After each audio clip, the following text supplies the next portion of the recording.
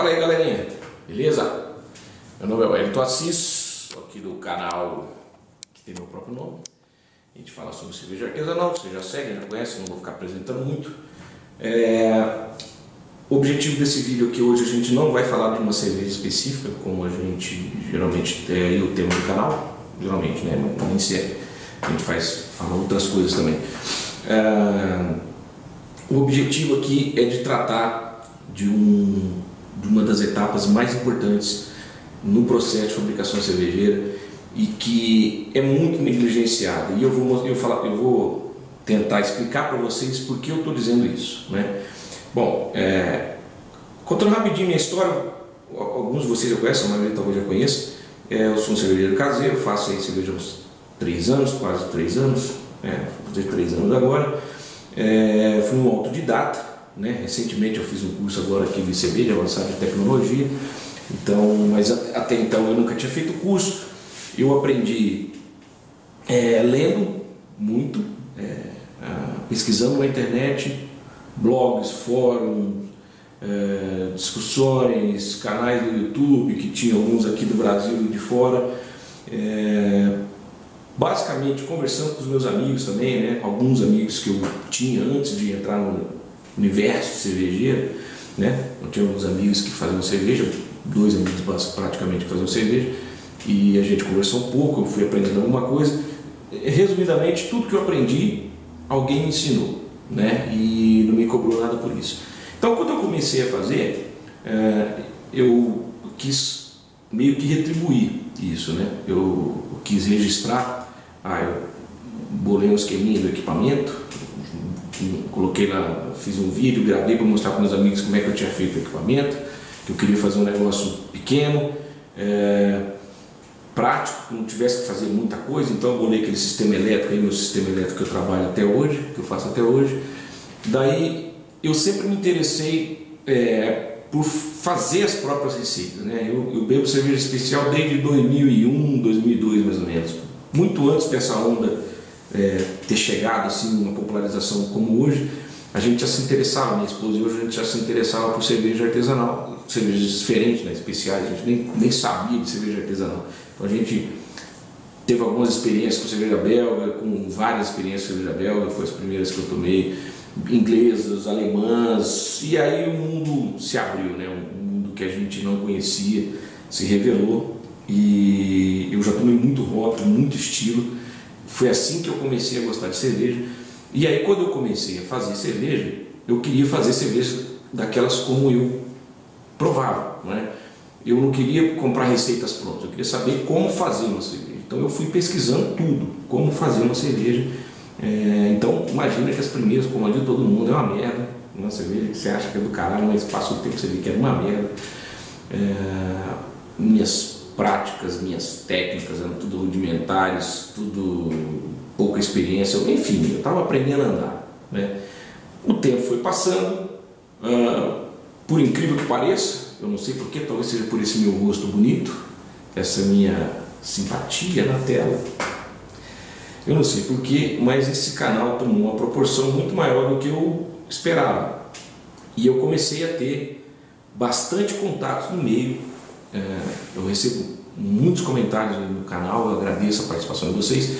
E como vocês perdem tempo de comentar, eu no mínimo tenho que perder o tempo para responder. Então eu respondo 100% das questões que me fazem no, aqui no canal, 100%. Se tiver mil perguntas, mil comentários, eu vou falar com mil pessoas.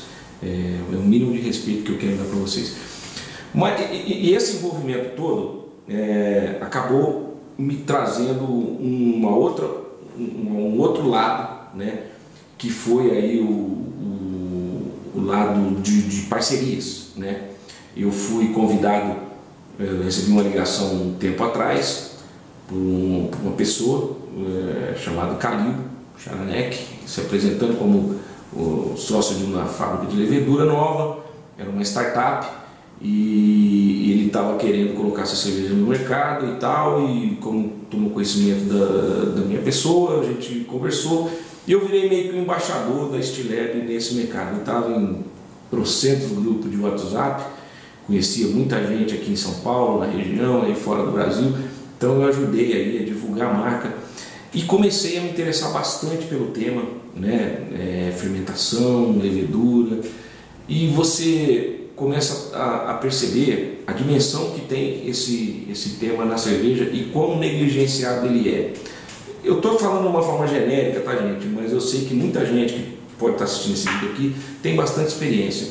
É, só que nessa, nessa minha vida aí, vamos falar assim, de, de, de, embaixador aí da eu acabo tendo contato com lojistas do Brasil inteiro, né? Estou é, nos grupos de vários, vários é, grupos de WhatsApp. Então, eu vejo, eu recebo uh, textos, conversas, acompanho, não posso acompanhar e nem responder a todo mundo, mas eu acompanho um monte de discussão sobre o tema e assim, com todo respeito, é uma fábrica de horrores, cara. É uma fábrica de horrores. Vocês não têm ideia do tanto de desconhecimento que tem respeito de fermentação. Né? Ah, talvez a maioria do meu público, de vocês que nos acompanham aqui no canal, a maioria de vocês é, tem experiências e essas coisas que eu vou dizer não se encaixam em vocês. Mas, como disse, né, cara, como eu estava dizendo, é, eu tenho uma obrigação, eu me sinto uma obrigação hoje, assim, né, de é, ajudar a evoluir, né, ajudar, o, o espírito que eu comecei lá atrás era devolver tudo aquilo que eu aprendi, né? É, essa cultura cervejeira tem um esse lance bem bacana que é você compartilhar conhecimento. E, e a gente está num, num, num, estágio no nosso mercado que as pessoas estão começando a entrar, aquela curiosidade, tem muita boa informação no, no, circulando por aí, mas tem muita, muita coisa errada, cara, muita desinformação.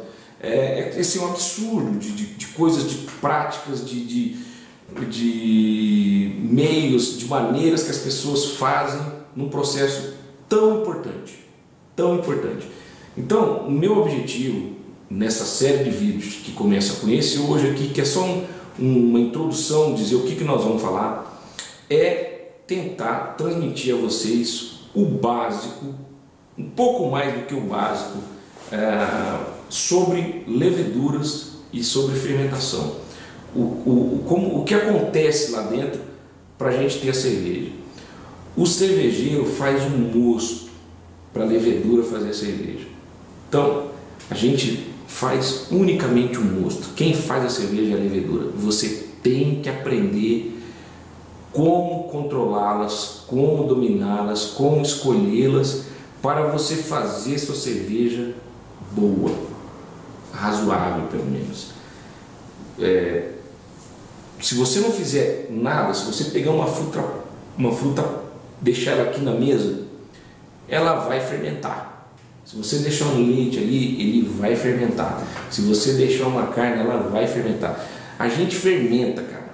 O mundo foi feito para fermentar. Então, tudo fermenta. Agora, você não vai beber o leite azedo. Você quer um leite gostoso. Então, se, você fizer uma fermentação bosta, você vai ter cerveja. Mas vai ser uma cerveja bosta. Os sumérios faziam cerveja Sabe-se lá que sabor que tinha aquela merda. E a gente não pode voltar para Suméria. A gente tem que evoluir. Né? Então, nessa série que, que a gente vai começar, eu vou tentar fazer um capítulo desse por semana. É bastante coisa, não sei quantos vão dar, três ou quatro capítulos. É porque a gente quer dar um, uma, uma visão geral da, da, da coisa. Né? É, nós vamos falar da história da fermentação, rapidamente só passar por cima disso aí, mas vamos falar da micologia, dos tipos de, de, de célula, como é que elas são, quem, que tipos tem. Nós vamos falar das leveduras, basicamente, as, as azeio, as lagers.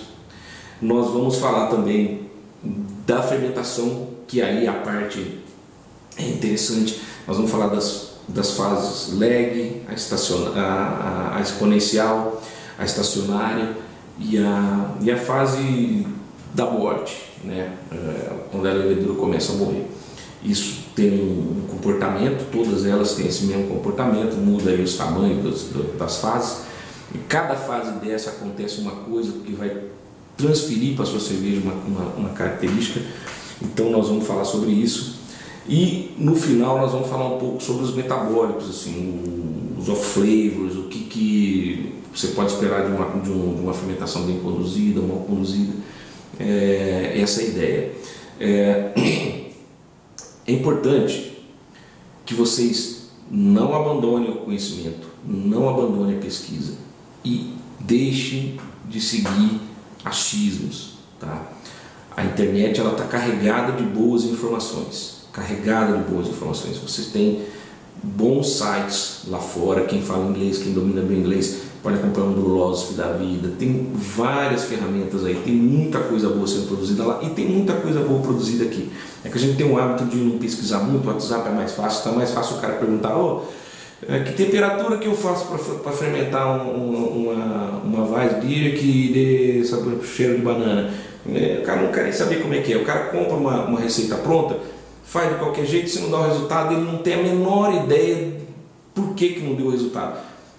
Ao final dessa série, o meu objetivo seria que você entendesse como você chega no resultado que você espera através da fermentação. Né? Lógico que todas as fases são importantes, todas as fases são importantes, mas não há fase mais crítica, mais delicada, mais decisiva para o processo cervejeiro do que a fermentação.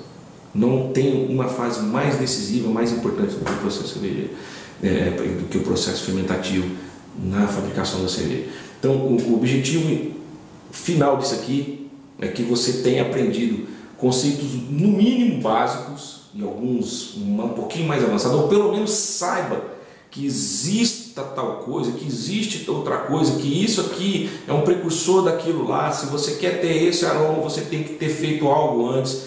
Se você quer é, combinar uma cepa, você tem que fazer tal coisa. Ou seja, você, se você, mesmo que você não saiba fazer, você saiba onde procurar.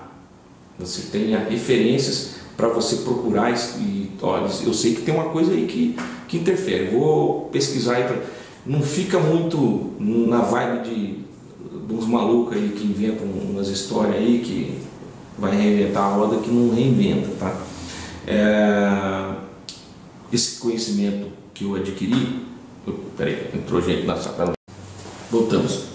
Esse, essa, esse conhecimento que eu venho adquirindo ao longo do tempo, eu, eu volto a dizer, é um conhecimento básico.